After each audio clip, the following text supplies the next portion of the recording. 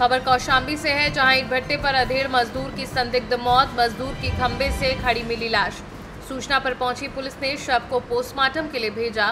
मुंबई में रह रहे मृतक के बेटे को दी गई सूचना। सैदनपुर गाँव का रहने वाला था 50 वर्षीय मृतक बनारसी। करारी थाना क्षेत्र के मौलानी नहर स्थित एच ईट भट्टे की बताई जा रही है घटना।